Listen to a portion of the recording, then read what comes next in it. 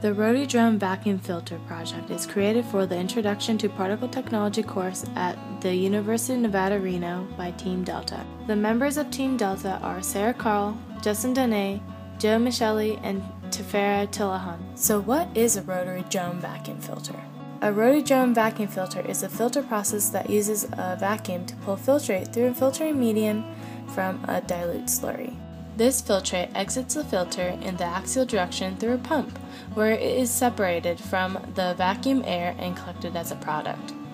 Solids are left stuck to the filtering medium held by a pressure differential. The drum rotates until the solid cake reaches a knife, which scrapes the cake off the filtering medium, leaving a cake of solids that can be broken into smaller pieces or left as a continuous solid cake.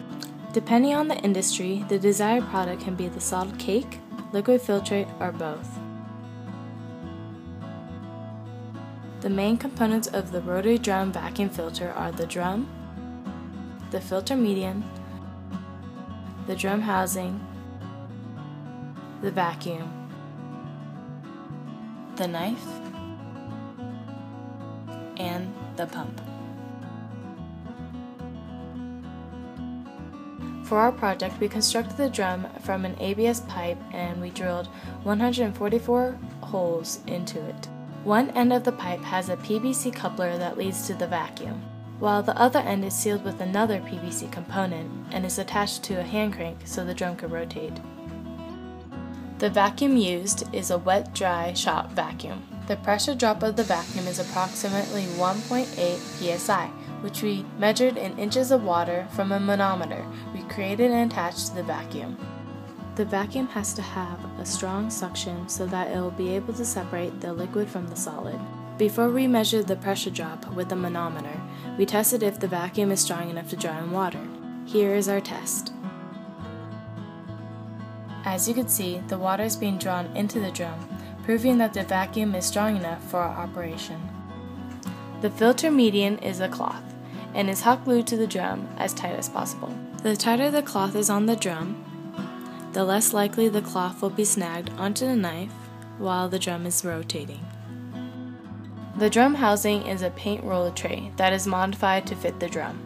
The modifications of the drum housing are done by cutting the tray to the size of the drum and then molding it to the shape of the drum with insulation film. The duct tape and the marine grease allows for smooth rotation and provides as a sealant for the drum. The knife is attached to one end of the drum housing as shown.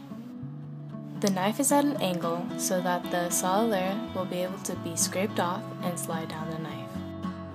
The pump is used to make our process continuous. The flow rate of the pump is 130 gallons per hour. The pump is also used to mix our slurry so that the particles will not settle to the bottom of the drum.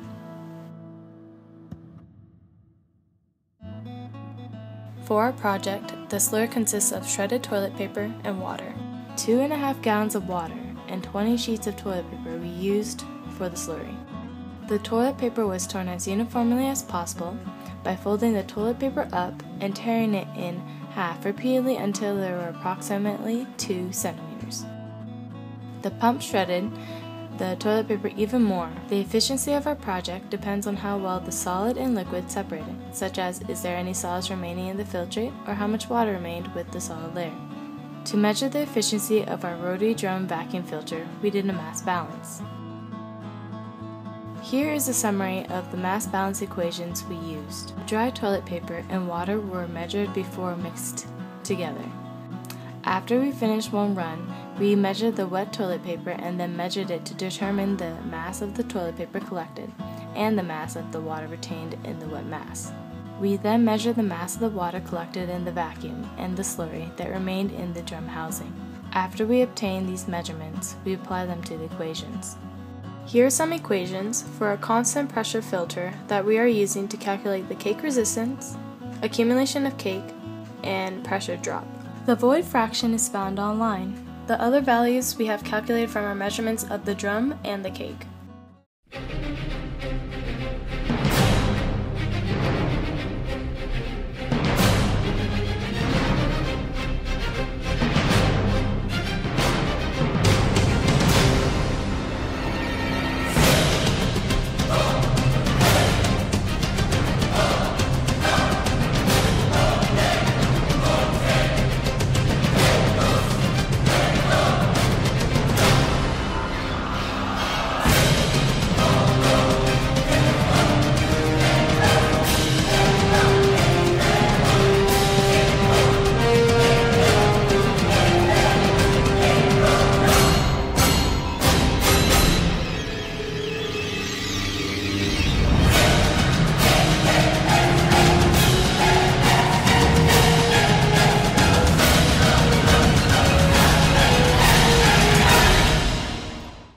For experimentation on our design, a thicker cake is required, which we determined to be approximately 5 to 7 millimeters for toilet paper. We could not make a thick enough layer because the vacuum's capacity is about 4 gallons, so only 4 gallons of filtrate can be filtered during a single run.